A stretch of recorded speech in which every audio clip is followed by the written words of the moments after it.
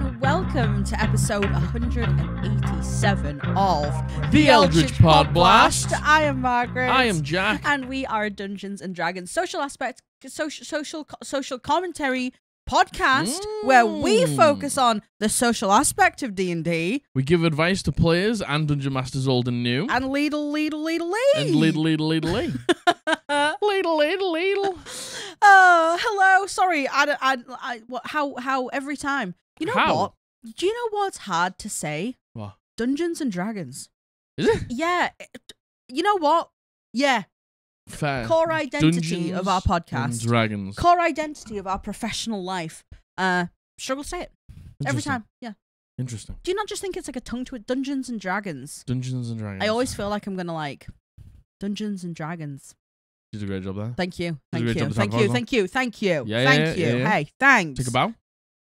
Thank yeah, you. Thank you. Thank you. Thank you very much. Who do you want to? Who do you want to say this was for? Um, this, This one goes out to my my dog, yeah who persistently. he persists.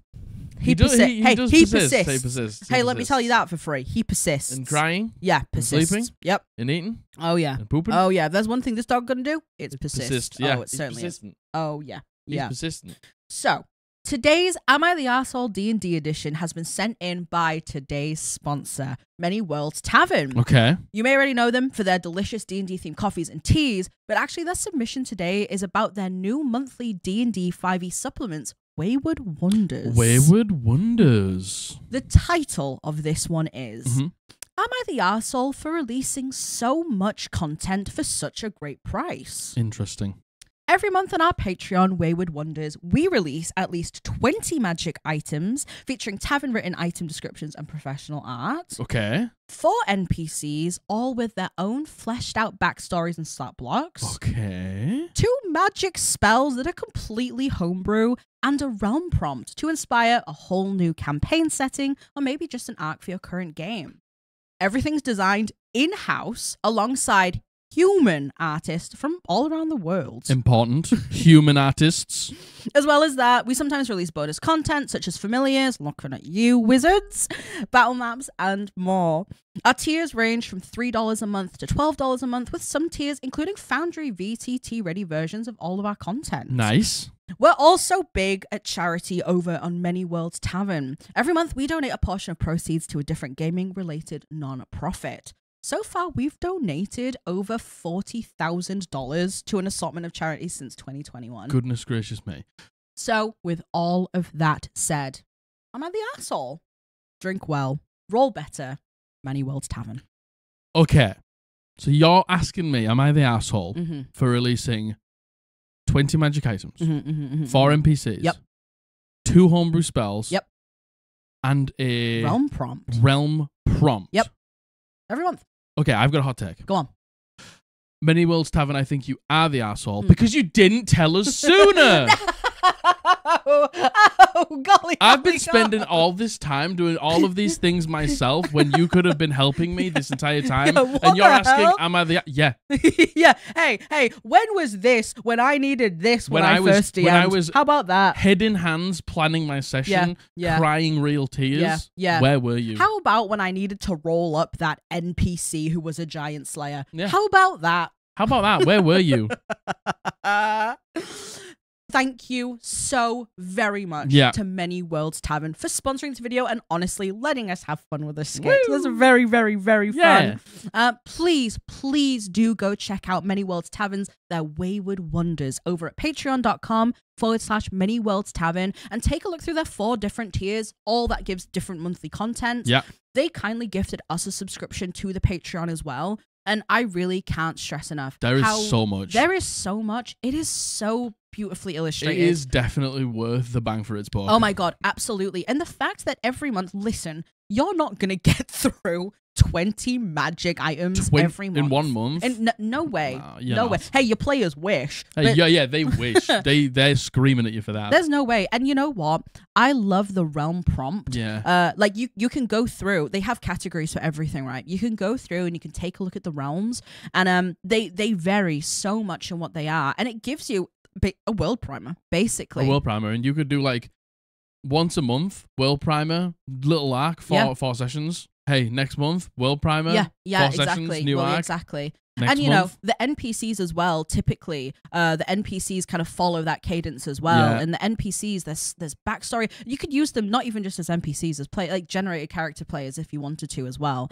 Um, and and again, uh, they're huge on charity. yeah, They work with again human artists, which is a huge which is very important here. Yeah, it We- really, we, really we, is. We really, really believe that human artists should It- be used, especially in uh, D and D content. Yeah, Uh, absolutely, absolutely. And on top of that as well, you know, obviously Wayward Wonders, they're taking steps into the D and D five E supplements. Uh, I, I think that, and that by the way, really doing an incredible job with Yeah, doing so. 100%. You probably recognize the word, the name Many Worlds Tavern for their genuinely very well renowned coffees and teas in the D&D space. Yeah. Uh, they also were kind enough to send us some of their coffees. We had the Homely House and Dragon's Nest. yeah. And I'm really not saying You this. uh, you loved the homely house. I love the homely You- house. I loved the dragon. yeah, I, because I, I, like I Dragon's Nest like too, but slightly more uh, Yeah. fruity and uh, Yeah. out there coffee. But you Yeah. you you normally are a big on the house blend. yeah. That was one of your favorite house blends. Oh my god, it it was. I really can't stress this enough. It was delicious. Yeah. You know, it goes without saying the art and it was gorgeous. The way it was packaged was gorgeous. It came with like cute little D and D Yeah, like it uh, bits and bobs, like It sticks and stuff like that, It which was- is really it cute. was- truly, truly, there's a reason you've heard of Many Worlds Tavern, and and, and and it is great. Uh, if you want to try some of their coffees and teas, I of hey, obviously you want to check out Wayward Wonders. yeah. But if you would actually like to check out their coffees and teas, uh, if you use our affiliate code PODBLAST, all in capital Blast, letters, at checkout, you'll get 10% off of your order. And honestly, you'll also be supporting us by using Yeah, our 100%. code. Uh, it's the whole store. It's not just the coffees and teas. They have dice mats, they have travel mugs, they have pins, they have stickers, etc. If you know a D&D player, honestly anyone who loves good Yeah. coffee, uh, now is really a great time. Save some money with our code. D and D and coffee go hand in hand. Yeah, tr- truly, Go and get them a good Christmas gift, a Hey, holiday gift. You'll know that we always we always talk about coffee here. Yeah. Like we one of our whole skits for the launch of our Twitch, Twitch channel was was, a coffee coffee shop, because we love coffee. Uh, but yeah, if you know someone uh, now, especially coming up to Christmas, is a great time to treat them. yeah. Uh, save ten percent off with our code. And once again, thank you so Thank you so much, very Many much, Worlds Many Tavern. Worlds Tavern. Please check them out. Patreon.com forward slash Many Worlds Tavern for monthly D and D five E homebrew, basically. And I would also like to say thank you so much to Joe Yes. over at Many Worlds Tavern who who's made this opportunity possible. We Yeah. really appreciate it. Thank you so much. So go and check out all of that. and Just know you'll be supporting them. You'll be supporting us. Absolutely. Uh, you'll be supporting a great project as well. yeah, and uh, Fantastic homebrew stuff. absolutely. And uh if you want us to do a deep dive into any of the actual content, let us know. Uh, I'm, I'm I'm sure we could. Yeah. So thank you, Many Worlds Tavern. Thank you so Thank much you for so that. Very much appreciated. So with all of that, shall we get into today's topic? Yes. Hello, everyone. How are we doing? Happy Thursday. I hope you're having a wonderful week so far. What have you gotten up to? What have you? Hey, what are you thinking? hey, what's on your mind? Tell me what you're thinking about. I want to know. I want Tell to me know. what you're thinking. Tell me what you're feeling. Yeah. Has anyone watched the last season of our, the last three episodes of Arcane? We, ha- haven't. We haven't at the time of recording this. I'm sure we will have at time of. I don't know. Well, I don't. I don't know. I don't you know, know. what? I don't know. There's there's a few things going on right now in Yeah. our lives, and Yeah. those few things are World of Warcraft Classic, World of Warcraft Classic. and that's that's it. so our Saturday was Yeah. spent. So we woke up. Yep. Here's what we did. Yep. We woke up. Yep. We had our cereal. Yep. We had our coffee downstairs. We went upstairs. Yep. And played World of Warcraft from eleven Yep. in the morning. Yep. Till half past one in the morning. Half past two in the morning. half past one in the morning. Half past one in the morning. Half past one in the morning. Felt like half past two in the morning. It was half past one. I see. Well, You know, in between there, there was eating something, yeah, feeding the dog, Yeah. taking him out for a walk and stuff Yeah. like that. But Yeah. we did play yeah, we did. from Thirteen 11, hours. Yeah. 13 and a half hours. Yep, we did certainly. And you know what? We have not done that. I I, I can't, can't even tell tell, you. you. the last time we ever we had a chance to do anything like that. when was the last time we did that? We didn't even do that when Retail came out. No, we didn't. I don't think we even did it when Season of Discovery came out. I know we did Hammer Season of Discovery, but, But not like that. not like that. That was We haven't had insane.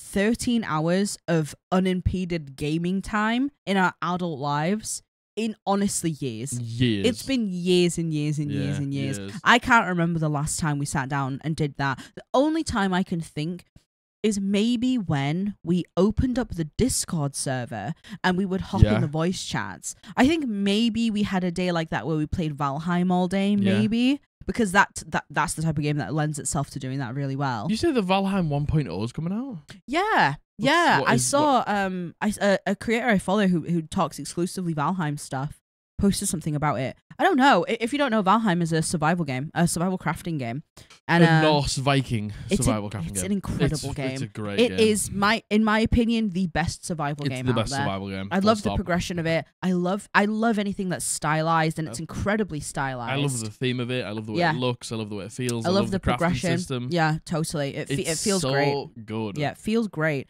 And it's it's been a game that's been in early access for maybe What? seven years, I think. No. No, maybe five years. No, probably not. Nah. What, 2019? Oh, maybe yeah, because it was in definitely was in, it was in COVID. It was in COVID that it came out. I think. Yeah, I think it came So out in 2019. So it was, so it's, so it's been four or five years. it's yeah, been- yeah, it's been early access. And I, I, I don't know. I haven't, I haven't watched it. I, I think they're releasing a full, actual, proper 1.0, Wow. which is very exciting. I, I- again, I would love to play Valheim again. It is better when you have more people Yeah. because me and you play very differently. Like I like to stay at home and do the crops and that's- do the management. You need the two Yeah. people. but you like to go out and do everything, but it's hard for you to do that by yourself and it's hard for me to do it by myself. Yeah. So you basically have to drag me out to do things with you and then I have to force you to stay at home to to organize things. It works best when you're playing in a group and uh I just don't think we have people who would want to play it as so, much as we not as- right now. Yeah. Like I, I I just don't think you know, the time we played it was an exceptional circumstance where we had a lot of people who really wanted to play the game. Yeah. But uh, I don't think I don't think anyone we know is really that big on the game. You know? Lynn's big on the game. Lynn's big on the game. Yeah, yeah. But hey, she has a life. Yeah, How about that? How about hey hey Lynn? How about you have a life? What the hell, Lynn? Uh, Stop what, having so much of a what life. the hell? Uh, all of that to say, I don't know. All I'd say, all that to say, I don't know. 13 and a half hours of World of Warcraft. yeah, it felt so good. It was, if, do you know what? It was, it, I, my soul needed it. It was healing. My soul needed Yeah. exactly that. It needed Totally. to sit, like, what I would do, what I would do when I was a child. When you were a kid. I would wake up and I'd want to play World of Warcraft. Yeah, on your I'd weekend. Log on. Or your summer holidays. I'd play all day. Yep. And then I'd go to sleep. that and then you do it again next day. Sadly, I can't do that today. Yep, Yep. unf- unfortunately, life calls. hey, but I could be doing worse things. You certainly. Oh, certainly. I could be doing worse things, but right now I'm recording a podcast. I got a stream tonight. Yeah, yeah. T- tonight, at the time of recording, it will have already happened by the time you see this. Yeah, we got Dave and Raina coming we got Dave and Raina the, the day we're recording this, which is really, really fun. Man, you know that. what? I've I'm so excited. I do this thing where up until the day, I it's fine. The day comes, I'm really nervous. Don't be nervous. I'm suddenly really nervous. I, be I. I, and you know what? I know it's for no reason. I think the second we got on the pre call with them and we say hi, I think for me, I'm really worried that I'm not going to be able to get the assets and the layout sorted in time. we just oh well you've got all the uh, Yeah. the layout done. Yeah. And we tested the cameras and we tested the microphones. Yeah. Fear of the unknown, my friends. It's just it was it's simply just like putting their cameras into I OBS. know, That's I know, what you're worried about. I know. I am very worried about it. It's gonna be fun. I know. I know. So again, you know what? It will have already happened by this time, and I know it, will it'll be an incredible, great time. But um, I'm a, I'm a little nervous now. Don't be Uh, nervous. God, what I would do what I would to do. play World of Warcraft for 13 hours, day after day after day after day. so good. I think I could as well. I think I could as well. I think I could. that is one game that I think I actually could. we should take a week off. Oh my god, We should take a week off. Take a week off. you're crazy. Ah, yeah, I know. Yeah, You're crazy. yeah, yeah. I know. I You're know. Yeah, I know. You're Ah, crazy. yeah, I know.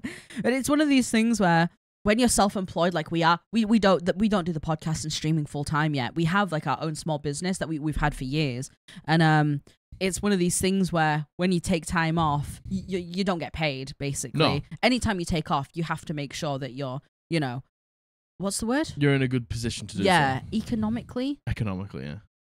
That sounds that that seems like a weird Financially. But that, yeah, yeah, that you're financially accounted Financial- for yeah, taking yeah. time off. Yeah. Yeah. and you know, that's it. It's like the thing is with being employed and taking time off is it feels good in the moment. Yeah. But the thing is, you you're basically just pushing back things. Yeah, I know. that you need to do. I know. So and it's it's that feeling and I'm sure I'm sure everyone who when you take time off work, when you go back, you're like, man, what is gonna be waiting for me? Yeah. what is there gonna be that I'm gonna have to get back to when I get Yeah. back to this?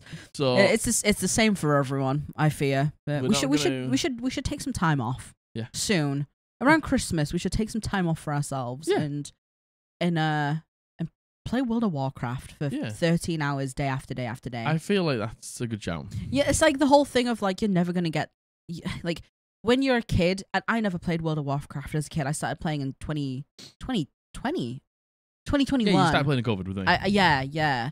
Um, so I don't have the nostalgia around WoW specifically, but my gosh, Neopets and Habbo Hotel, those were like the things I played Yeah. as a kid. And I stayed up. There would be nights I stayed up on a school night, didn't go to sleep, went to school the next day Why not? like you will never get those days back when you like have the first like friends online and I mean, this is the thing. Like, we played for 13 and a half hours yesterday. I got, you know, slightly less sleep because Yeah. we went to sleep slightly later last night. yeah And I'm like, to be fair, we got, we still got a decent amount of sleep, Yeah. which, which was pretty good. But, you know, I'm a little bit tired today. If I'd have stayed up all night and tried to do this podcast on zero sleep, Yep. I would it's die over. on set. Yeah, over. It's I would die you. On camera in front of you. is that what is that what you want? Is that what? Are you not entertained? Are you not entertained? Are you not entertained? so yeah, uh, so all of that just to be said. Hey, World of Warcraft classic, great game. Good 2004. It, it when I say classic, it, it's basically they've just rebooted the game from 2004, the original, and they've just made fresh servers, so everyone's on the same boat. Yeah, There's no economic bloat yet. There's no No. people ahead who have been hoarding wealth.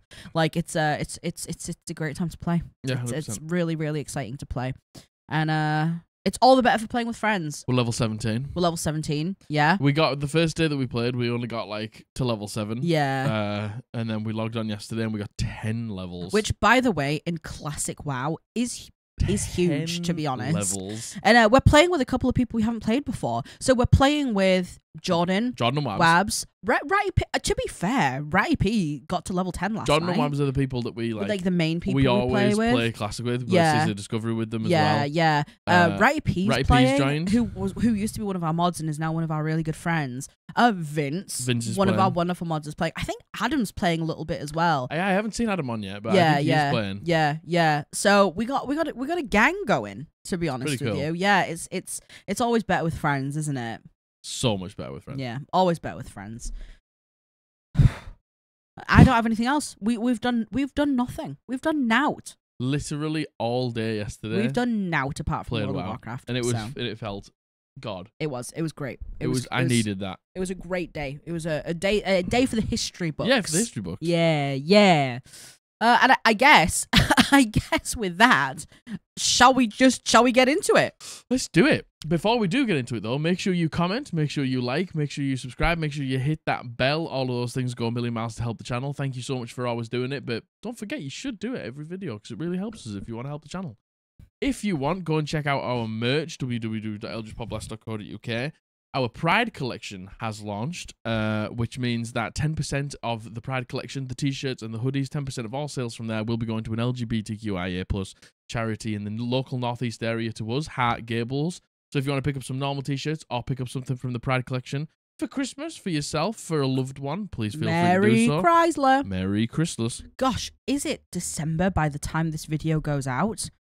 Surely what's, not. What's the date today? It's the twenty fourth. Gosh, it's No, nearly. It's the 28th. It would be it would be days after this. Bloody hell! Uh, come join us on Twitch every Friday, every Sunday, every other Tuesday. We do all sorts of great things. We do advice. We do ask us anythings. We do, God, all sorts of great fun stuff, and it's a good time. So come hang out with us there, and also check our Patreon out down in the description if you want more exclusive content from me and Margaret. Thank you so much to all our patrons over at Patreon. You have no idea how much we appreciate your support. If you want to support us over at Patreon and gain access to our exclusive content, Like our D&D campaign updates and our extra monthly live streams. click the link in the description. More about Patreon at the end of this video. Thank you. Yay!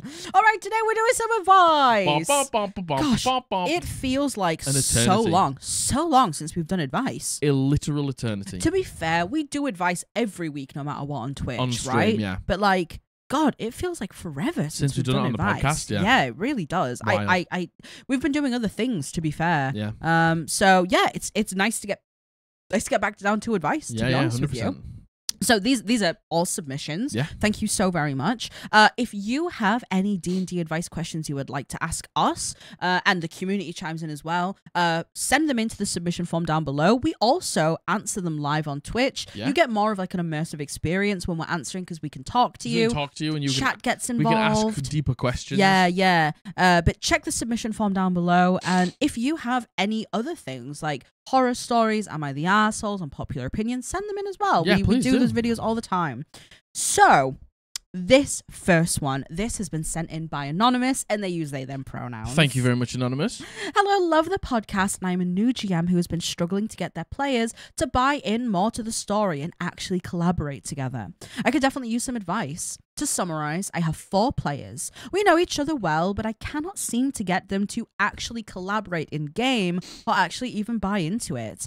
They all go based on the, well, this is what my character would do type of mentality. Some examples.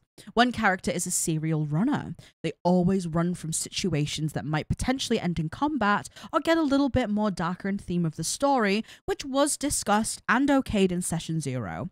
It got to the point where I had to improvise a way to lock them inside an area and they couldn't escape. Otherwise, they would have missed a hugely crucial plot point, which was meeting the BBEG for the first time. My players also have the habit. So- wow, that noise I made with my mouth just then. Sorry about that. I didn't even hear you make a noise. It was a it was a big ol' slurp. my players have also uh, my players also have the habit of not talking to each other in character and consistently splitting up. So I have to juggle back and forth between all of them. I try to give them different situations that would call for collaboration, for example, sending them to a ball where they had to steal an item, but they still found a way to split up and not collaborate on how to get the item. They do not take notes or remember anything. I've previous I've taken previous advice to be as explicit as possible with my hints to the point where I've point blank told them you see the markings on the creature which is a near exact replica of what you saw when you met this mysterious person the BBEG Oh my god. and they still do not connect the dots Okay. because they do not remember or write it down. And finally, currently, I am now facing a situation where they don't seem to enjoy combat, no matter how descriptive and fun I try to make them with weird creative monsters. So I wanted to give them a fun break that will still allow them to find clues regarding the plot with the festival, but they've split up yet again and are not talking to any of the townsfolk and the runner player has decided to not partake in the festival at all and sit alone. I've tried talking to them regarding this, that they should participate because while this is more fun, there are still things to do and nothing I do is pointless. And they just told me, sure, next session, just have my companion run into the festival and I will run after it. I'm frustrated that I have to find ways to force them into buying into my story. I hope this wasn't too long. I'm simply just lost at how I can get them to actually play as a party and buy into the story more and interact with the world more. Thank you for reading. Okay. so the thing is, I think I could I could give you an individual fix for every single one of these problems, but I think what you do need to do is is need to have an out of game sit down conversation Certainly. about everything because I think there's a few things wrong here. I will say that I- one thing that I do like to do with maybe people who are runners, um, because we've had we've had somebody who was a runner before. Uh, it wasn't when I was a dungeon master, but it was really frustrating for us as players. Um, but I would honestly say, like, maybe one time there's let's just say there's a beloved NPC with them or something like that, and this person runs, and you can you can it doesn't have to be this brutal or this harsh, but you know maybe that NPC dies, Mm-hmm. and then it's just like we could have really done with you there, but Mhm. like you keep running, Mm-hmm. and if you keep running, like this will keep happening. We'll keep losing. We'll keep you know, like losing out on people, losing out on uh like winning and things like that. We Mhm. need you to stick with the group. yeah. Maybe we can give them a something of invisibility. Yeah. So instead of running, they can still be present, but they can disappear if they want to. Mm-hmm. And that's obviously what they want. They want to disappear, uh, sort of thing.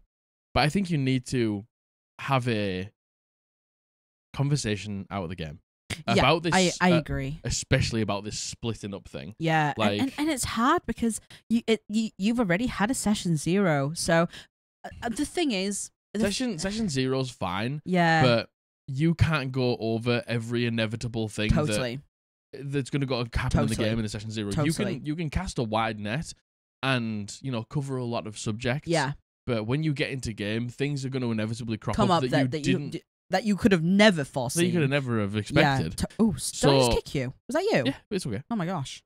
So I think you need to talk about this this splitting up thing, and I also totally. need like. I don't think some parties get how valuable information is until you show them how how valuable information is. Yeah.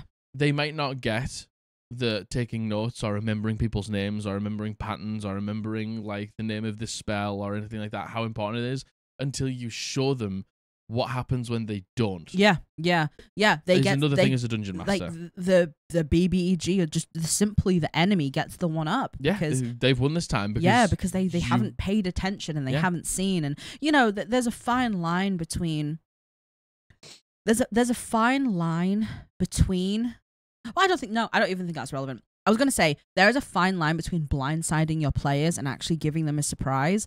But again if this is something that you've said you've had to talk to them multiple times about and you've had to say like hey look you need to pay attention you need to take notes Yeah. like th- this is happening and i've given you the clues and then i'm still not getting it maybe they do need to actually see like a real-time example of Yeah. of why of they, why they need to pay attention. not even take notes because listen note taking genuinely is a skill That's and it's it's it, you need a specific type of player. certainly yes certainly You know, I would say Margaret is the only real note taker at my table. Yeah. Abby takes notes, but they're not like abby takes thorough. note oh, abby takes notes of big important things. Yeah, abby if something big smaller happens details. she will make a note. An npc tells us something she will take a note. Yeah, i'm the type of person where i i take notes of everything yeah. You notes of I. I cast a wide Everything. net and Yeah, I hope that I can just get something in it, yeah, you yeah. know? And you. Abby's far more concise than I Yeah. am. But the thing is, I think you know, with the detail that I try and go into in my campaign, and like those small details, yeah. like it is worth doing, But- and I think that's why you do it, I do it because I, I really enjoy it. and you enjoy I it. love taking notes. Yeah. It's a joy for me. Like it's it's not a chore for me. I like doing it. I like looking over my notes at the end of the session and going over them. I realize that that that is not for everyone. Mhm. Like some people just want to play the game and they don't want to have to do homework about it. Mhm. Like I totally totally get it.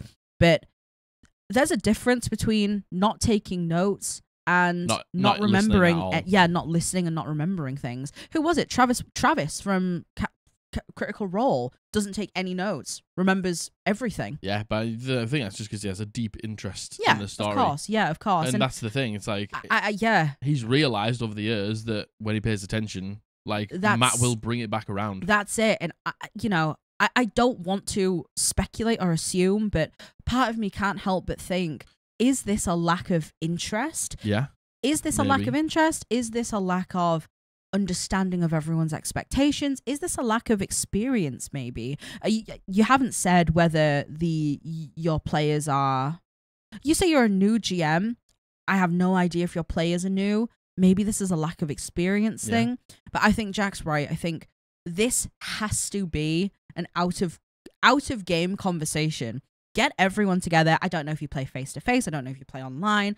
Get everyone together outside of D&D or just before the session and just sit down and say, "Hey guys, I've talked to you about a few of these things before, but it's getting to a point where I'm starting to get really frustrated and I'm starting to I, I don't know where to turn, so I'm talking to you guys so we can all work on this together.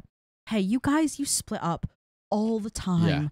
This is so hard for me as a DM. and I think you tell them that like it's it's totally fine to want Yeah. to have multiple things to do. Of hey, we want to go to the ball. We want to go over to the bar and speak to this person. We want to go and dance with this person. We want to go and check upstairs. We want to check the cellar. It's just like okay. So the thing is, we don't need to split up to do that. Yeah, totally. Let's just do it all yeah, together, absolutely. one task at a time. yeah, I'm not going to make you run out of time. I'm not going to make like things happen in the background because you aren't doing it fast enough. yeah. Yeah. But keeping Definitely. together in case something happens is really important. And I think an important thing to ask is why do you always split up? Why do you split up? Get to the root of like why why do you guys like to split up so much? Oh, because it's efficient. It's just like it's it's not. Well, it it's might- it the, might it's be the exact opposite of efficient. in game time, but it's not like, efficient in real life. But in real life, it's it slows everything down Absolutely. Crawl. game time and real life are two very different Yeah. things. And if it's oh well, you know, I like I like to have my own part of the story. I like to have my own moments with my character. You can still have that. Yeah. Together in a party. I'll give you that. I will- I promise I will give promise you that. I'll give you like your moment to shine in i- every session, and you know we'll focus on your story at times yeah. and stuff like oh, that. I'm worried the party aren't going to be interested in what I'm doing, so I'm going to do it by myself. Well, hey, look, we ha- have to we, sit we have to sit here anyway. anyway. So you might as well all do it together and Yeah. use these moments as a bonding thing. Use these moments to have conversations with each other as you're and going the thing through. is, do you want to know what? I didn't even realize, but if they're fucking splitting up, and let's just say there's a, I don't know how big your party is, but it's a party Four. of four. Okay, two people do this thing, two people do that. Two people do this thing, one person does that. The runners sat on their own. Yeah. Okay. The two people do something, the other two might not even be listening. They don't get the key information. Boom. We now we understand why they aren't paying attention. yeah. Those two people who complete their task, now this one person goes and does their task. They find out a bit of key information. The two people from before aren't listening, and the runner's still not listening. Yeah. That's three people at the table who didn't remember that key information. Yeah. And lo- let's talk about the runner, I guess, because th- it- it is so hard, uh, especially as a new DM who balancing combat is one of the hardest things to do in the game. Yeah. In my opinion, one of the hardest things to do in the game, right? When you're accounting for having four players going into a fight, you even say here, meeting the BBEG for the first. Uh, to be fair, I don't know if that's a combat, but you know, they run away from combats. They run away when things, to be fair, get a little darker, but they tend to avoid situations. And you even say they sit alone by themselves all the time. With the runner, when you're accounting for four people in combat and you only have three, that's really hard to manage. And then it just takes so much longer. With a runner, I would genuinely just say, look, I understand that this is what your character would do, but when you're constantly taking yourself out of, Of the game. these- the game, like it puts an obligation on me as the DM to have to try and include you. The other day, I said you should get involved, and you said, "Yeah, well, you can get my companion to come in." I shouldn't have to be making excuses for you to get involved in the game. was what I always said uh, when when I was new, or if I take on any new players, or if I like meet any new players, and they ask me what's what's something that I should know. As a player, the most important thing, bar none, full stop, is you, not me as the dungeon master. You as the player, you need to find the reason to stick around. D- definitely. Because if you don't have a reason to stick around, you'll be the runner. Mhm. You'll go home. You'll just sit in the tavern because adventuring's scary Yeah. and you're going to get into a lot of dangerous situations. You're going to get yourself in a lot of trouble. You're going to get yourself in a lot of like situations where your character might die. Yeah. Like you've got to find a reason. Your character needs a reason. Yeah. That they don't just tuck tail and run home. because i in in the kindest way I can say it, it is incredibly frustrating for everyone to have Yeah. to beg a character to stay around, to have to take because again, time is finite. Again, game time, whatever. Re- in real lifetime, we have a certain amount of time to play D and D. Probably However, five often, hours a week. however every often we weeks, play it exactly and f- a- a- again i maybe i'm only speaking for myself here but to have to constantly turn around to someone and beg them every time to stay with us it gets to a point where that turns simply into well fuck you then don't Yeah. don't come Like I'm, I- I'm not going to spend my time begging you. begging to come. you begging Like, you you, you, sh- you should have worked that out we- yourself Us three want to go. Why don't you? Like your, Ha- yeah your having character. to have a debate with someone every time Every time. And like we've talked about this, like Matthew's a great player. He's still at our table. Fantastic role player. Great stuff. The first character he played at my table, he took this sort of thing Yeah. a little too far. Yeah. And, And, all it took, genuinely, Was- all it took was a conversation just going, hey, it's getting really difficult every single Mm. time we have a plan uh, to have an opposition to the Yeah. plan and having to coax you into it. Like, we were aware you're totally doing it in character, yeah, but it's, as it's all a character thing. as players, it's getting frustrating. Yeah. Do you think you could work with us more? Immediately. Yeah. Immediately. He was, to be fair, he was like, I actually had this plan in my character Yeah. arc to have my character get more courageous as we go through. Yeah. I had it planned out. And I think that's an example of sometimes you can have an idea for something in game and then it just changes. Yeah, and it maybe just doesn't. It, and it maybe just doesn't pan out the way you think it Yeah. does, Yeah. or maybe it goes on a little too long. Yeah.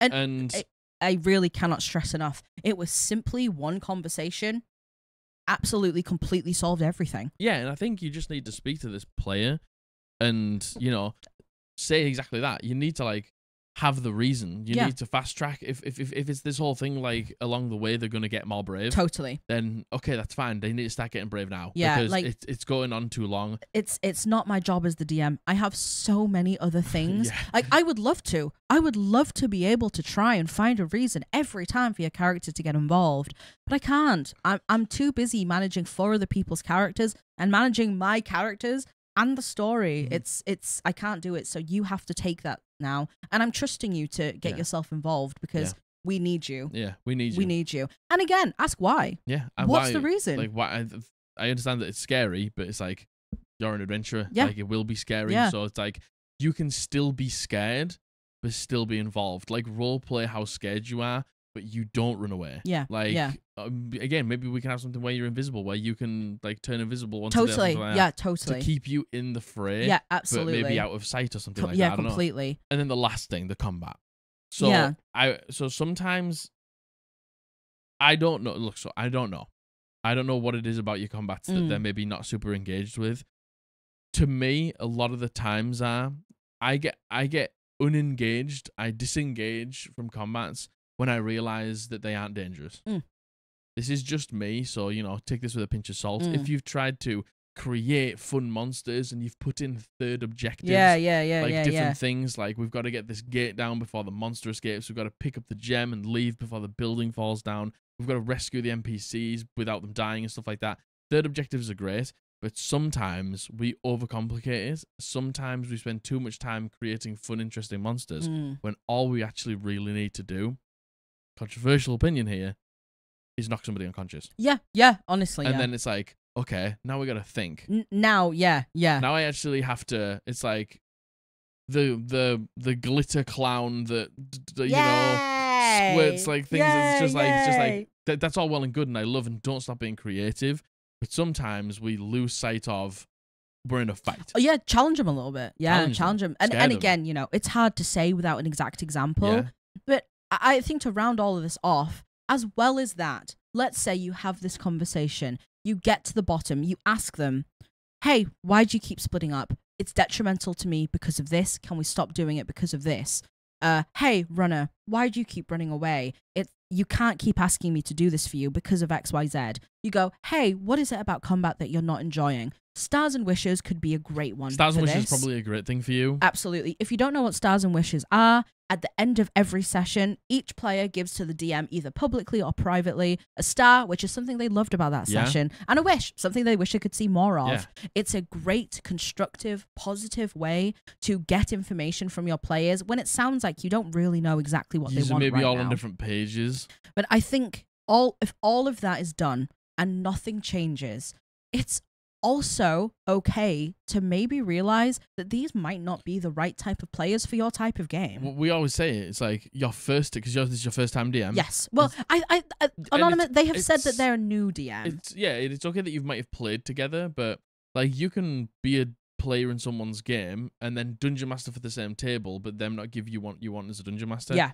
You might need a different set of players as a dungeon master Yeah. to fit at the right table. totally. Doesn't mean you can't still play with them. Oh no, totally, Uh, some- absolutely. uh, with as somebody else as a dungeon yeah, master. absolutely. But you as a dungeon master might need Might just be different. might yeah. just might just need a different set of players, and Yeah. there's not and there's nothing wrong with that. Yeah. there's nothing to be ashamed about that. Doesn't mean you don't like them. Yeah. Doesn't mean that you think they're bad. They might just not be the right fit. T- And absolutely. there's nothing wrong with that. and uh, uh, you know that is only something if you've had all these conversations because they have to it has to be had you can't you can't do anything about something if you don't know there's a problem. absolutely you know that that player going yeah sure just get my pet to run in they might not realize how much of an onus it is on you Yeah, to do it you know it's your job. yeah It's not my absolutely job. You And- have and my. they- it's just like they just might not know it Yeah. you know uh have the conversation anonymous and if if none of it nothing changes after the fact give it time you know change is change takes a while and it's Yeah. hard but um if not do consider the fact that you might just not be gelling right and that's Yeah, okay as that's well Fine. That's Yeah. totally fine. i hope that helps anonymous I hope it helps. keep us updated i would i would love to hear more about how that went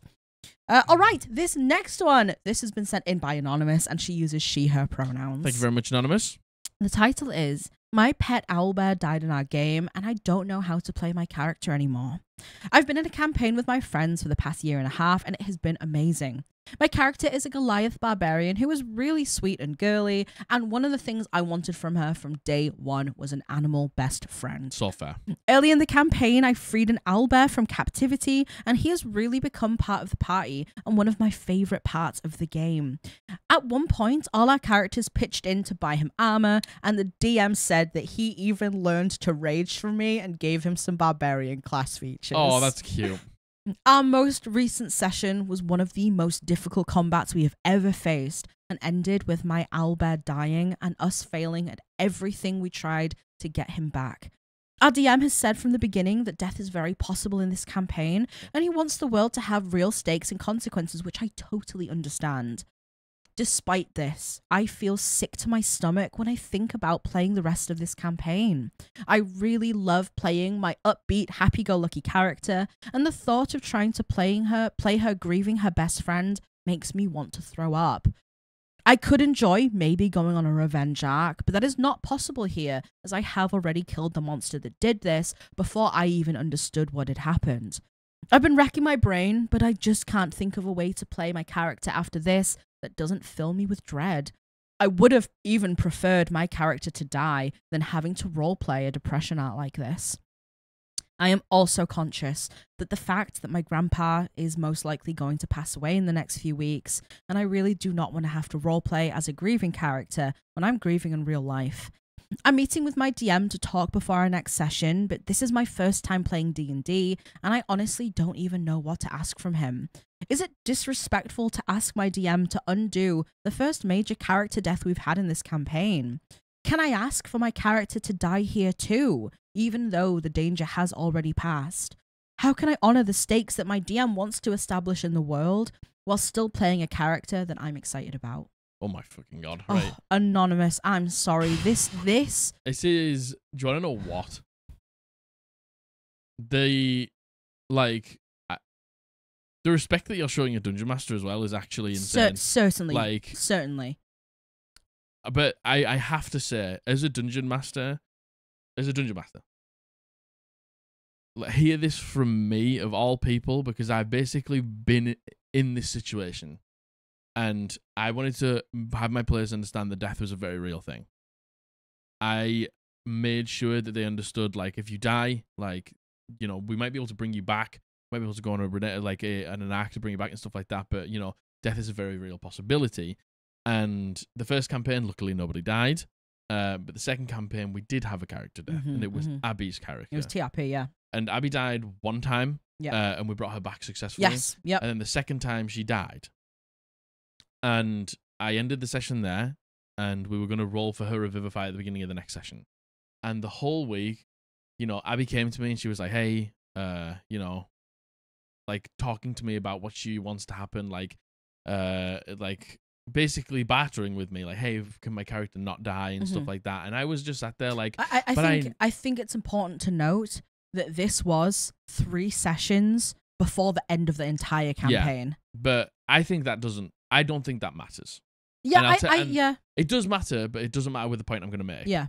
So I came to you and I was like, man, Abby doesn't want a character die, but I told you guys the death's like super real. And you Mm. just said to me, you said to me, why? hmm Like, why? Like, death is real. Mm. Like, you know, she's going through that right now this week. Mhm. We've all like understood the stakes. hmm We're all devastated. If she doesn't come back, like it's going to be devastating. Yeah. Like you've made it real. Yeah. Like death has achieved exactly what it's supposed to. We're Yeah. all emotionally invested. Yeah. We all know the risks. Yeah. And I was like, huh, maybe you're right. Maybe I don't need to be like I've done my job. Yeah. Like there's weight, there's Yeah. emotional mm, investment. Yeah. And then we come to the session, she fails and she dies. And Yeah. then I have And, and it's it's it's It's beyond it's beyond devastating. long story short, she's trying to cure vampires of vampirism. There's one NPC that embodies that completely. yeah. And he And her end game was to go around with him curing people curing vampires, or killing them. yeah. Or kill- yeah. Curing them or killing them. Yeah. And uh he switched places with her Yeah. as a narrative thing. And that was a big loss for her. Like she'd come all this way and he was the shining example of that. Mm, And he died. And it mm. still had weight. So I don't think going to your dungeon master is disrespectful at all. No, no, gosh, no. I think you explain the situation. You're in a very unique situation with You your are. grandpa and stuff You like are. that. You- you're I'm a very s- sorry about that. you're in a situation where something like this, it right now for you is very damaging. And I think you need to tell your dungeon master that. Absolutely. And you know, like the thing is, it sounds like your DM very much let you try, right? Yeah. There, it sounds like you know we tried everything and it, we still failed. So your DM was willing to try and and, and let you bring your owlbear back, right? I- I think this is a case of your DM probably just doesn't know, right? how how it's affecting you. Exactly. And I think when your DM does know, they will want to help you. Yeah. Right? And the thing is, like, your dungeon master's done their job. Yeah. Like they've got you emotionally invested. Some people don't need it to be emotionally invested. uh, Some people don't need the threat of death to be emotionally That- invested. me. But like, it's done its job. Like Yeah. you're emotionally invested. You felt the understand, feelings, You understood yeah. what was on the line. Yeah, and stuff yeah, like yeah. That. But now at the this point, it's gonna take fun away from it, and that's where we have to draw the line. Yeah, I completely if agree. it's gonna make you have less fun that your owlbear can't come back, then I think I think that would be the wrong decision from the dungeon master, in my opinion. Yeah, I completely. I don't know if there's something that we can do where like, okay, the the owlbear's gone, but maybe the spirit lives on. Yes. Yeah. Com- yeah. Totally. Like the power the power of love yeah. uh between you, there's just an unbreakable bond. Yeah. Doesn't matter if the owlbear's here or not. Like the spirit lives on, and it works exactly the same. Yeah. But yeah, it has a bunch of hit points, but like if it gets reduced to zero, you gotta have a long rest before you can summon it again or something like that. Yeah. As the spirit, Yeah. um, I think it would be really cool. Yeah, you know, it could be something where I don't know if you've left off literally where your owlbear has died. Sessions ended. You say you're going back, and this is going to be the first session since owlbear has died. I don't know if it's maybe you've kept you've kept the owlbear to to bury them or something like that, and an NPC is like, I think I might know someone who can help you. You know, yeah, something like that. It's S- like something like in that. a game where anything can happen. Yeah, Anything can happen. yeah, totally. And if we draw the line there for our player who's absolutely devastated, yeah, then we're not doing enough, yeah, in and my opinion. And it's also, by the way, it is okay to be this connected and Oh this God. invested in your character's pet. And it's it's okay to feel like this. you're not doing anyone injustice. No. Like the the the, the justice is the fact that you care this much. Abs- absolutely, I, Like, I completely agree. As a dungeon master, this dungeon master has done their job. yeah, totally. They, they yeah, like the fact that you care this much. You've done your job. They've done their job. The fact that you care this much about your owl bear, yeah, and the fact that they've died is all any dungeon master could ever want from a game. a- absolutely. And At all. I, I completely agree. And I, I think there is a couple of ways to go about this conversation, Anonymous, because I think no matter what, you should absolutely have this conversation with your you DM. You need to have this right? conversation. There's a couple of things. I think, Anonymous, the first thing you need to think for yourself personally is what is the best outcome for you here? Yeah. And Because what would you- I be happy with? You have a couple of options, honestly. You've it sounds like you're open to all of these options. Um you have can they undo the first major death? Could I ask for my character to die here too? Right? You have a couple of options. I would honestly think about which one you would prefer. I think with with the character dying, it it's so tough because I understand that like you don't want to run them through this depression arc, but you also can't play them as this happy go lucky character and stuff like that when the when the pets just died. I get it.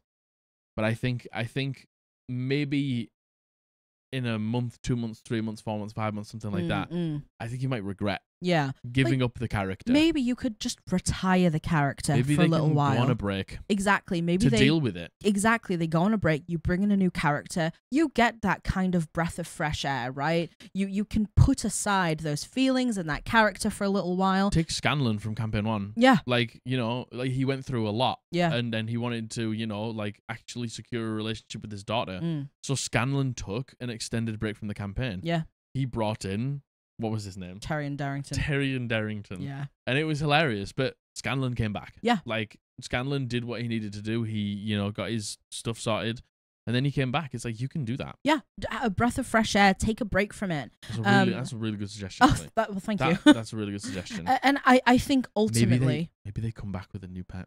oh Maybe they go to an owl bear sanctuary and, and, get and a new owl bear. yeah yeah yeah Maybe they take the time to grieve Yeah. or something like that, and then come back with a.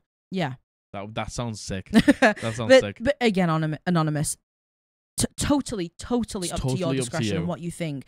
But I also think, you know, it doesn't have to be a case of undoing the first death, Yeah. right? There can still be things that go on. An NPC is able to bring them back. They come back in spirit form. You Yeah. now have like a, a a spirit familiar Yeah. who is your owlbear. Yeah. You know, there's so many ways you can do it. But I think most importantly, you go to your DM and you you say, "Hey, look, I, I need to talk to you about this because it's affecting me in all of these different ways. And honestly, I, I, I would also say, you know, there's out external factors as well. Mhm. Um, you know, you, you don't And- if and you're not comfortable going into it, just say there's external factors right now that would really affect me going into this, and I don't want to disrespect you, and I, I, I really Yeah. respect you as my DM, and, And that's why I'm trying to bring it to you in Yeah. this like this this manner. yeah, but this is going to be really bad for me.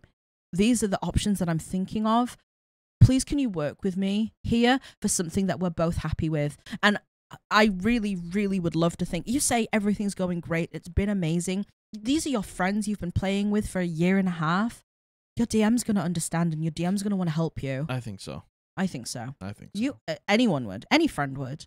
Any friend would. Yeah, I think I think when like when you take all of these like out of game things into consideration, hmm like uh, to me, I think I think you know I've come a long way as a dungeon master, Mm. and I now realize that like this game's supposed to be fun. Full stop. Yeah, totally. Like yeah, we can get sad along the way. Yeah, we can get emotionally invested along the way. But the moment that we stop having fun, yeah, it's it's literally pointless. It is It's pointless. like what's the point in turning up? yeah, it is It's pointless. like I turn up every week to hang out with my mates, have a good time. Like, yeah, we can cry, yeah, we can laugh, yeah, we can be shocked and appalled and stuff like that. But at the end of the day, we got to still be having fun. Completely. And the moment we stop having fun is the moment that we stop enjoying the game. I, I completely agree. I'm sorry, anonymous. I'm I'm so, I'm sorry for everything. This is this is a really hard situation to be in, Yeah, and uh, sending you lots of love. Yeah, big please, love. please have the conversation with your Yeah, DM, yeah. big anonymous. time. Yeah, Uh, you'll be able to come to something together that you're happy with. I I, agree. I, Oh, I, I, I completely promise. agree. They probably so probably didn't realize They how probably- much. and I think that's the thing. I think Yeah. when they realize, Yeah. uh, sort of what what's going on with, in your life and stuff like that, and how much it means to you, Totally. I think they'll do something about it. Yeah, absolutely. Absolutely. Oh, all right. This next one. This has been sent in by Adelina, and she uses she, her pronouns. Thank you very much, Adelina. That was my mum's name. Oh, nice. Beautiful name. Uh, my DM wants to start doing a podcast. He keeps acting like I'm not interested in doing it, but I am, and I was actually excited to do it. He is kind of strict about character creation at times, and originally I found it frustrating to have to pick a specific background for my characters I create, but I understood why and I would just deal with it. However, since the past since since the start of the podcast is coming up, he decided we should have specific personalities he came up with based on popular show characters. He gave class suggestions to go with these personalities, but they are not a requirement. When I got upset about it, he got frustrated and stated that he researched and feels that these personalities are what makes a great cast of characters and will make a cohesive group. There are other issues like not understanding how death save work and wanting to make it easier for characters to die, as that is how D&D used to be.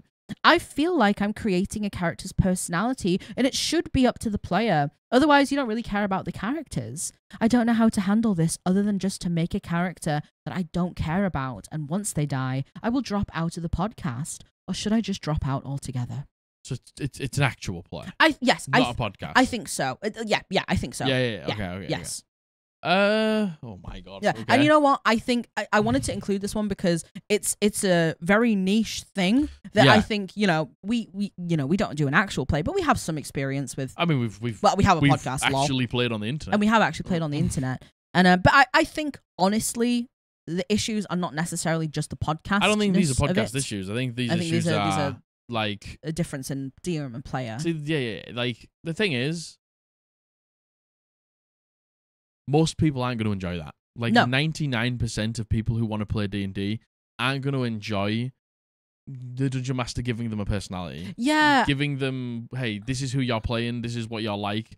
It's like that's on the that's on the character. yeah, and I think that's what makes a cast great. i- Yeah. Is is is that? However, I do understand. I understand the there's archetypes to every character that we see in, in media and games and in TV shows. Uh, and certain archetypes, there's always a couple of each, I would say, and certain archetypes work better with one another. And having a, a vast array of these archetypes works well, but I feel like that's an organic thing that comes about just through playing and Yeah. just through knowing each other and just through character development. Yeah, and the thing is, I honestly think like having a desire to play who you're playing Mm. is such a humongous drive as to why you play the character you Why do. else would you play a character? Like, yeah, it's just like I watched the popular media thing, and now I'm really invested. Like, I watched uh, Arcane, yeah, and now I want to play a really edgy fucking monk that punches shit. It's Yeah. like I want to play Vi. yeah. It's like I, I, I see the character. I think I'd do it justice. I have a reason. Yeah. I've thought of a cool backstory. But it's like if I really wanted to play Vi and then the DM gives me Jinx, Yes. it's like, but that's that's not my. I don't have a desire. I don't have completely a- agree. Like a yearning desire to do that, and I- that means I probably won't give it justice. Yeah. And the thing is, I'll probably end up just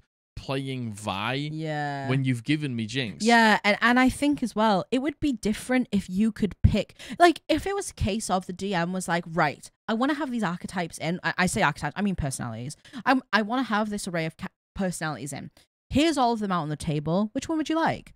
You know, I think that would be different. Mhm. I honestly think that would be different. And but if your DM's just going to you, going, yeah, you're playing the jester now. Listen, I could. It could never be Mhm. me. And the thing is, like, where our characters begin and where our characters N- end. yeah, absolutely. They're not. it's not the same. It's like by the end of the campaign, you've seen some shit. You've been through some shit. totally. Like Good or bad. good or bad. And the thing is, it's like you aren't going to be the same character that you played at the Pat him.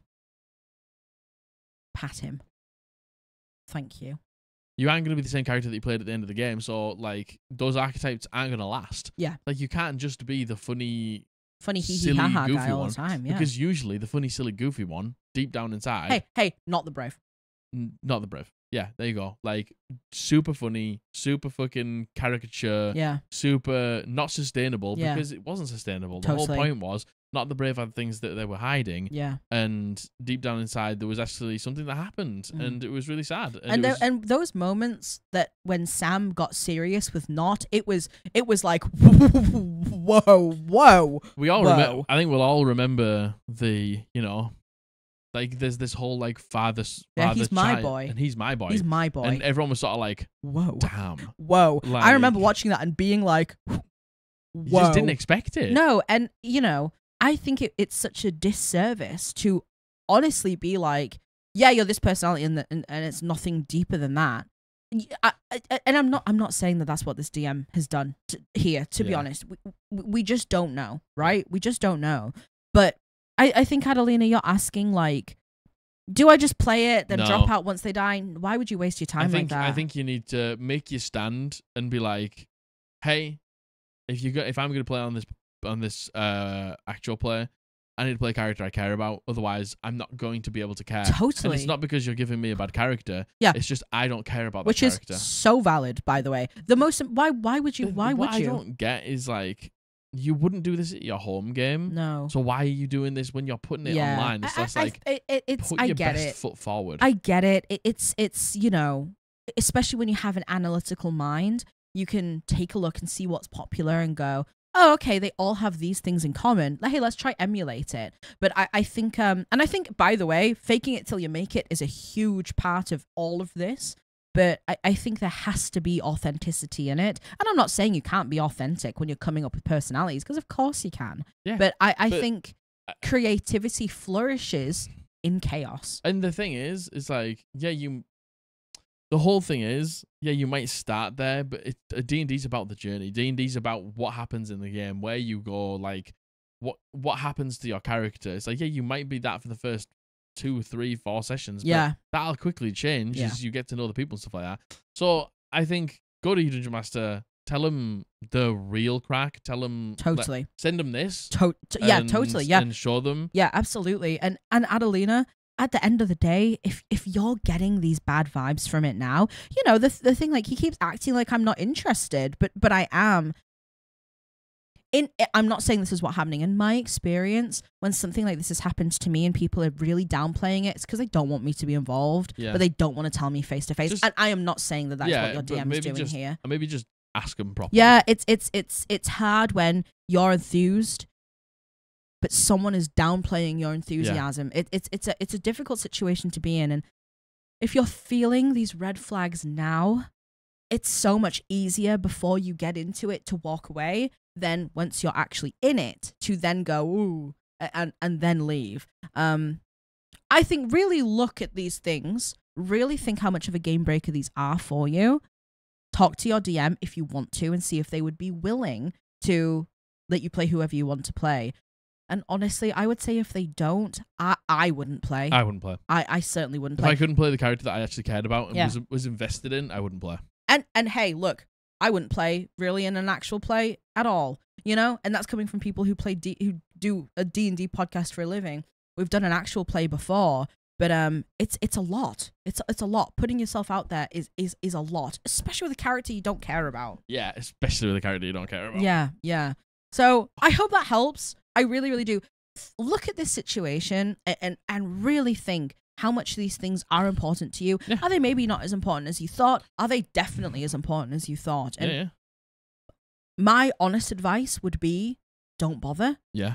but I don't know the nuance of everything. Yeah, like it sounds like a lot of it sound if this is the way it's beginning, how's it gonna end? Do you know what That's I mean? that, when you're getting your gut, you're, you're getting a gut feeling for a reason. yeah. And, Trust uh, your gut. Trust, honestly, trust But if you do want to be a part of it, Yeah. I think you need to put some some hard lines Completely. in place Yeah, where it's I play the character I want to, not the character you want me to. Totally, totally. But either way, good luck. Uh, Good luck to your DM for this as well. Yeah. By the way, you know, anyone anyone who's putting their foot forward and trying to get into this space, um, you know, we need to welcome them with Yeah, open 100%. arms and good luck. Yeah, good But, luck. I hope uh, it goes well. And I'm not saying that that looking at what's worked in the past isn't the right way to do it, No. but I also think you have to be authentic as well. And Yeah, I agree. uh, it's a, it's a really fucking fine line. yeah, I agree. Uh, all right, this is the penultimate. Penultimate. This is the second to last. Uh, this isn't sent in by. Uh, you can call me Vesta after my favorite Animal Crossing village, Animal Crossing Hey, villager, and they use they them pronouns. Thank you very much, Vesta. Hello, first of all, love your videos. Thank you. Uh, English isn't my first language, so some grammatical errors apply. No Do problems. Not worry about it Doesn't matter. ever. My goodness gracious me. Do not ever worry about it.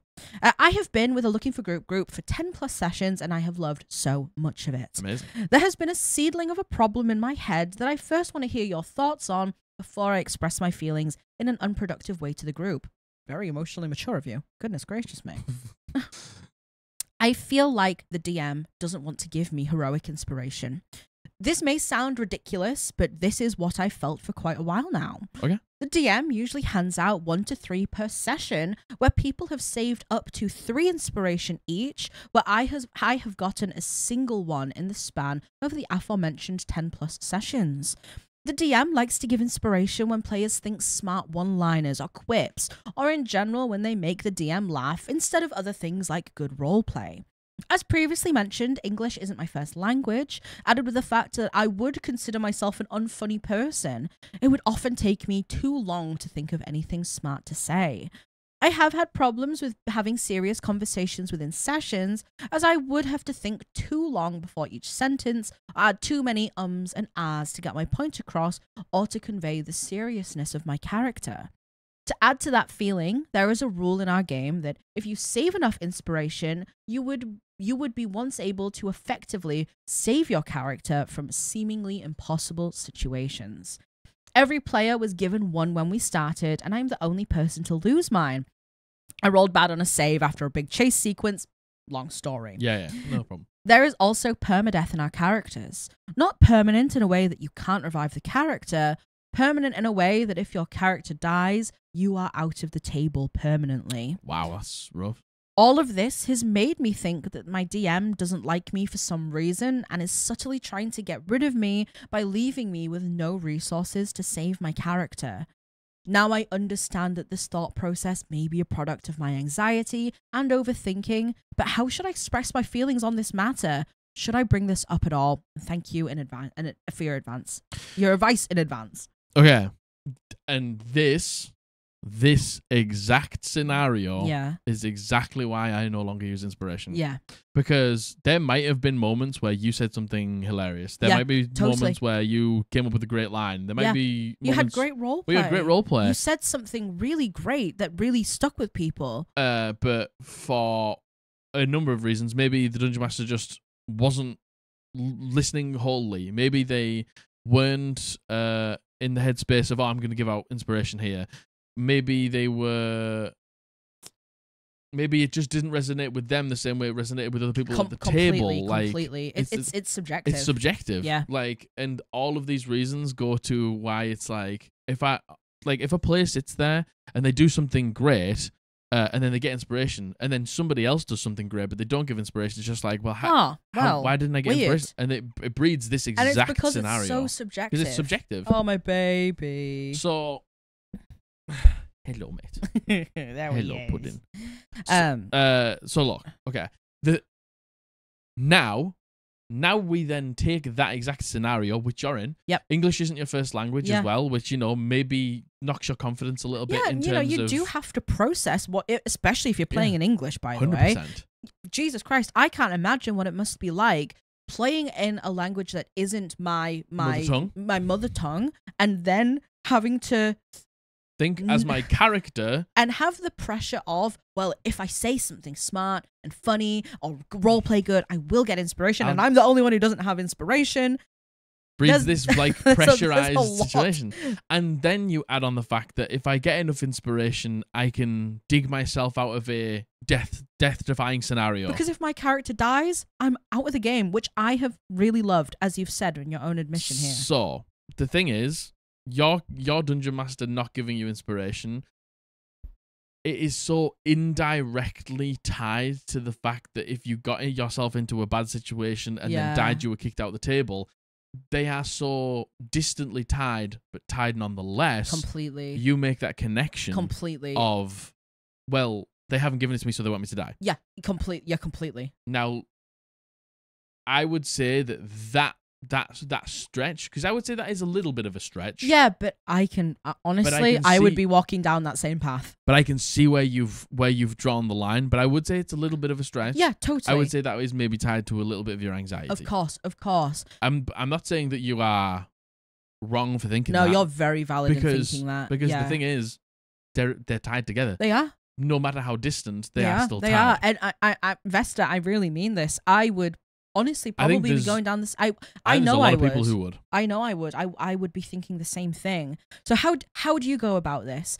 You, you've said here, look, I've loved so much of this game. which is great. We've been playing for 10 sessions. I'm the only one who hasn't gotten them yet. Go to your DM and and and Your, just your dungeon master probably hasn't even realized. Oh my gosh. Oh my gosh. Your DM pro- like I don't know if maybe it's a proximity of where you sit. They physically haven't seen that you don't have the inspiration, especially if you haven't brought it up at table. You haven't said, "Gosh, I haven't got inspiration." They probably do not know. Let's let's let's go on the side of this of being they honestly don't know, and I it's don't- not a case of they want want you out of your They- table. th- that's not. That's not. Like, that's I- not why they haven't given you it. no. They might have not given you it for a number of reasons. And the thing is, I always say this: when I'm the dungeon master and I've got a new city coming up, a new quest line coming up, new Yep. NPCs coming up, a combat to deal with, this uh, uh, uh, magic item that I'm giving out, I've Yep. got this role play scene. Like I'm not thinking about who does and doesn't have inspiration. Gosh, ev- even when we use the advantage disadvantage tokens, You I'm- know, so how I'm- hard is it for you sometimes to track just who has Who disadvantage? has? I have to. I'd look over the table. and I'm like, who has disadvantage? It's like I don't. I can't keep in my head. Ah, they've got disadvantage. They've got disadvantage course. without standing up physically and looking and over the table and looking, looking, at it. and asking. Like we've got so much on our plates. Of course. Like these things do slip our I, I promise. I, I I, promise almost, you. almost absolutely assure you that this is what's happened. So, Vesta, you go to your You DM speak to your and you say, "Hey DM, I have really loved these sessions we've played with you, and I, I, I need to bring this up with you, and I." know you're not doing this intentionally, but I need to talk to you about the inspiration situation. And I'm talking to you about this because I know the rule is if your character dies, you're out of the table, and I really want to continue playing with you. And I want to put because I love playing with you, and I want to put my best foot forward. And if it comes to a point where I fail a save, I know I can stay in your game. I've noticed that everyone else seems to get them, and I'm the only one at the table who doesn't have them. I don't know if you noticed this or not, and I haven't mentioned it, so maybe that's why. I don't have any heroic inspiration, and and I would also here's, mention, Here's, here's, here's where I would like to interject. yeah, yeah, yeah, yeah. I don't have any ins- heroic inspiration, and I think it's because English isn't my first Exa- language. yeah, Um, I'm not as quick to the jokes. I'm not as fluent with the role play purely because it takes me a little bit longer to process those things. Is there a way that maybe through, if I do something smart in combat, Yeah. if I make a nice gesture to another player, like if I buy them something, if I can do something that like maybe you wouldn't give inspiration to everybody else, Yeah. but for me you would make a consideration for, for me, because it's not through role roleplay because I because I struggle with that aspect of the game. Could you give me some heroic inspiration if I get the killing blow on an enemy? yes, If I do something cool in combat? Yeah. If I think of another uh, a, a NPC or Yeah. a player even if I do just something for them. even if I just sit and I listen to another player talking to me about something and I give them that space. Yeah. Like there's so many ways your DM could give you this. And uh I, I- I really, really think I really think they just haven't noticed. And and you can just say, I'm bringing this to your attention because I just don't think you noticed. And, and I love your game, and I don't want to get myself into a situation where I don't have any insp- heroic inspiration to use, yeah, yeah. and then I have to leave because I don't want that because Yeah. I'm having a great time. Totally. And that conversation will will honestly open up two avenues. Yeah. Your DM going, "Oh my god, I'm so sorry. I didn't even realize. I didn't notice." Yes, of course. Going forward, let's work on this. Or your DM going your DM saying the other side of it and being like, "Yeah, well, you know, you haven't done anything Is worthy of is. it. Yeah. It, it is Which what I it is." I don't think they'd say. No, no, no, no, no. I don't think so either. But if they do, then at least through this one conversation, you have your answer either way. Yeah, you, you know, right? yeah, it puts it puts that like doubt in your mind at rest. Totally. And um I I Vesta, I think this is just a case of and this is why we don't use heroic inspiration. So I was, honestly. yeah, so I don't. I, so, but heroic inspiration and inspiration. Sorry, sorry, heroic yeah, they but, absolutely but, are. Like, yeah, it depends one you're using because inspiration is just you do something that the dungeon master likes. Yeah. Here's a here's a reroll. and that's what it sounds like is being used Yeah. in this situation. To be clear, heroic inspiration in D&D 2024 is a totally different Completely thing. different. Yeah. Inspiration in 5e is exactly this. But you know, it, uh, the, you know, they're and interchangeable depending yeah, exa- yeah, exactly. Yeah. Um I hope that helps Vesta. I hope And that helps. You're, I just want you to know you're very valid and feeling like Super this. valid. It's okay that you're having these thoughts and 100%. feelings, and the only way that you will clear this up is talking to your DM, and so you should, by the way. Yeah. Because it, it's it's quite an intense thing to have. Uh, if your character dies, you're gone from the table. yeah. It's it's it's some, hey, I would constantly be thinking about it. Let yeah, me tell you that for free. that's, That's it. It's like because they're so undeniably intertwined, Yeah. but so distantly intertwined. Yeah. I understand why exactly why Mhm. you've got here, but at the Mhm. same time, I don't think that's exactly the reason your dungeon master isn't giving you it. Absolutely, I I'll be agree. honest. I completely agree. I hope that helps, Vesta. I hope that helps, Vesta. And uh, Thank please, you so please much let for us putting in your advice. I Please let us know how you get on with it. Yeah. Please, please do. All right, this is the last one. This is the last of this episode. Uh, this has been sent in by Stall Brawler, and he uses he, him pronouns. Thank you, stall brawler. Yeah. Uh, the title of this is I'm introducing a new villain. How do I show off just how powerful they are? Hello, first time DM with a homebrew campaign. I'm coming up and introducing a side BBEG during a peak main story event. BBEG number two is a multiversal threat in a sense. There will be a 99% chance of combat ensuing, and I want to try and show off just truly how much a threat he is. So my idea was to use power word kill on one of my players.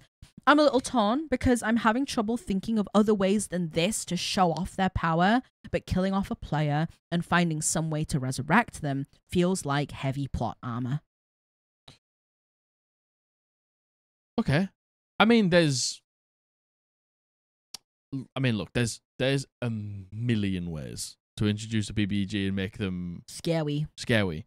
It could be that everybody knows of the BBEG through history books, through like um word of mouth. Oh my god, you say their name and everyone f- shudders and the lights flicker and stuff like that. It's like their their weight, their name just carries weight.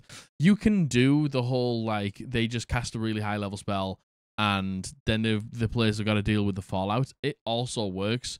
Is it a kind of feels bad? In my opinion, yeah, because you're basically showing that they can cast high level spells, which like the reason your BBEG is cool and scary isn't because they can cast high Yeah, level spells. it's because of who they are. It's because of who they are. Exactly.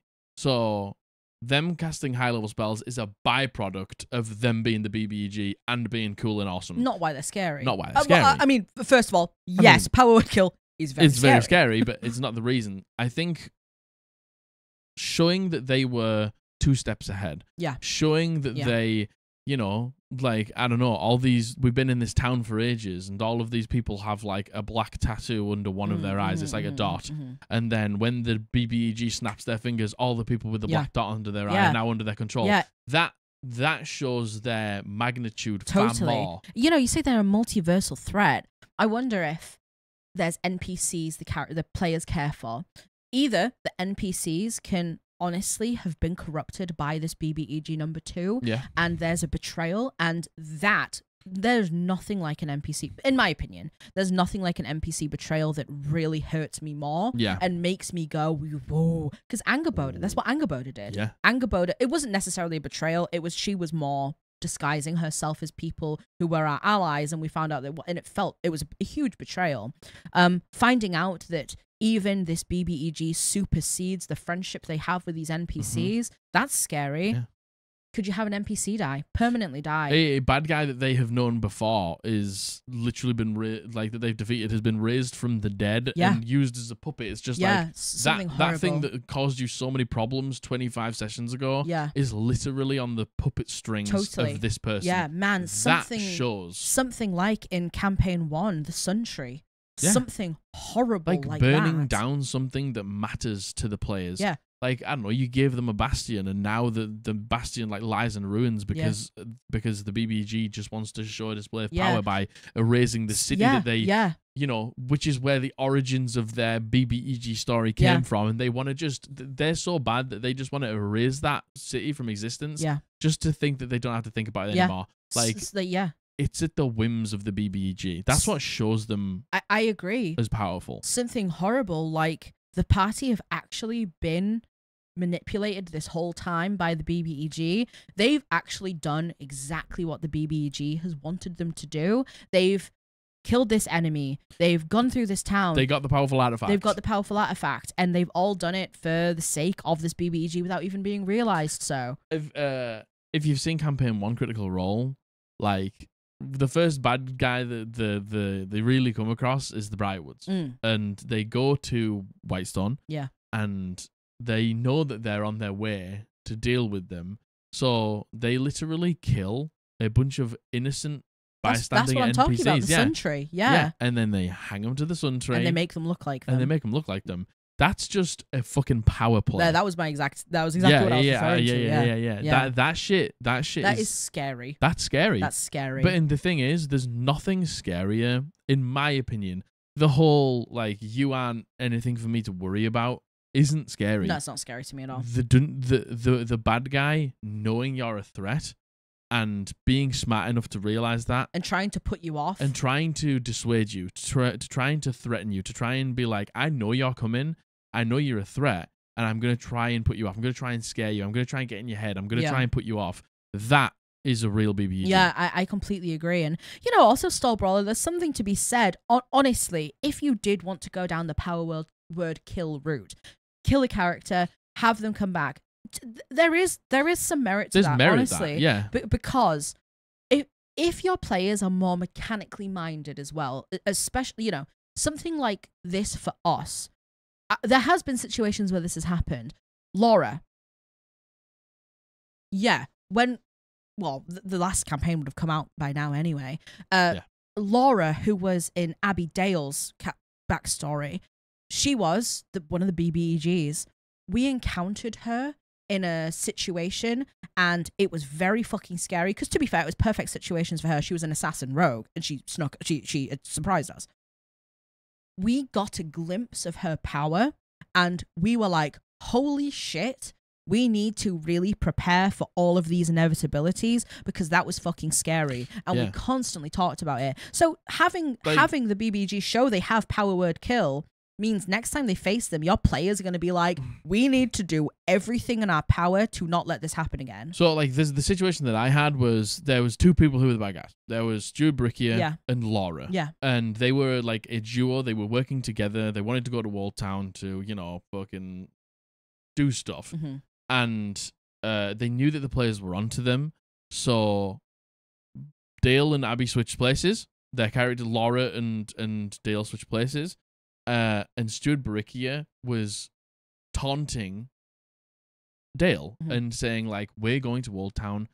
Do not come here. Like, she's gonna kill all of your friends right now. So Mhm. it's just gonna be you alone." yeah so don't bother and you know like he was you know preying on that insecurity and there was just like a little bit of role play at the same time as a Mhm. as a display of power whereas Laura was like I'm just going to try and kill everyone yeah I'm going to try and just which she nearly did which she nearly did she downed two people in the second round of combat Yeah. like she was dangerous and doing that role play of like letting them in onto what I was doing and you know there was other things that we found Yeah. out later on whilst having the display of power meant more than just her trying to assassinate you. Yeah, yeah, totally. And you know, there there is merit in it. There there is merit in Yeah, there seeing is. power word kill and having your players being like, "Holy fucking shit." Okay, well, next time we see BBG number two, we really need to take that into account because it's scary, Mm. you know. But I, I think couple, couple that with a few other things if you want to go down that route. And again, you know, is there instead of a player character who could be revived? An NPC Yeah, that is there an NPC? can't be revived. yeah, an NPC they care that about. they really maybe. care about. Yeah, Yeah, like totally. there's nothing that hits harder.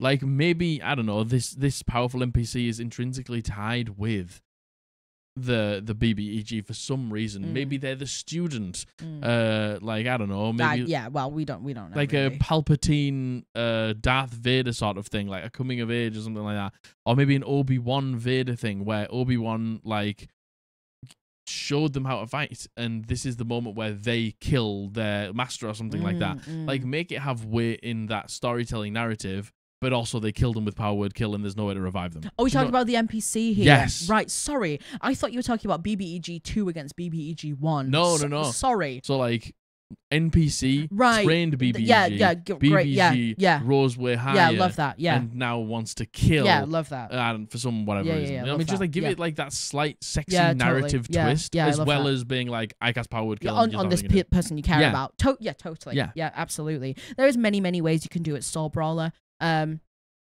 I, I, I really don't think even even the the situation you've given here is a bad shout. I, I re- I bad really shout, don't. Uh, there's many ways. Uh, stall brawler. I would think.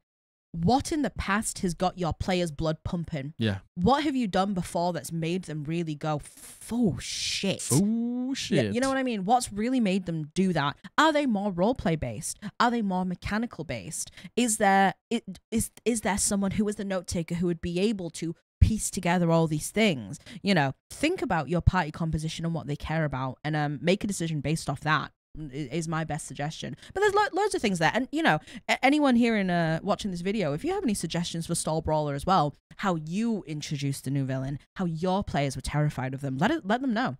Yeah, Yeah.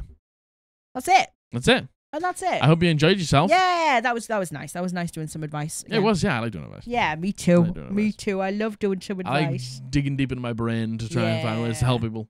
Thank you so much for being here. It was great to see you. It was. It was wonderful having you. Make sure that you check out the Pride collection and or just any merch. uh, on www.eldritchpodblast.co.uk. Please go and check that out. The Pride Collection sales will go to the charity local to us, LGBTQIA plus Hat Gables. Yes. Um, come join us on Twitch every Friday, every Sunday, every other Tuesday for some advice like this and to, to just hang out and get to uh, get to chat with us and stuff. yeah. It's really awesome. Yeah. Um,